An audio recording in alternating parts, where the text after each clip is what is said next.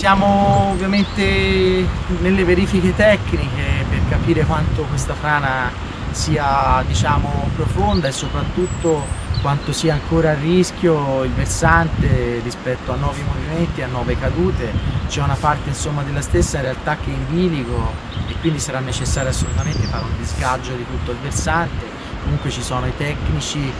e geologo e la ditta incaricati dalla provincia ovviamente per approfondire in modo più puntuale possibile la situazione e ovviamente la volontà e l'obiettivo è riuscire eh, quanto prima a ricreare le condizioni ovviamente di circolazione però eh, le caratteristiche di questo tratto del versante soprattutto per quello che è il movimento che c'è stato sicuramente non sarà una cosa immediata anzi sarà richiesto del tempo per le lavorazioni sia di disgaggio che di messa in sicurezza eh, della strada questo è assolutamente indiscutibile tanto che ovviamente come provincia stiamo spingendo al massimo con le lavorazioni che ci sono in questo momento in corso in località Pusignara sulla frana che si è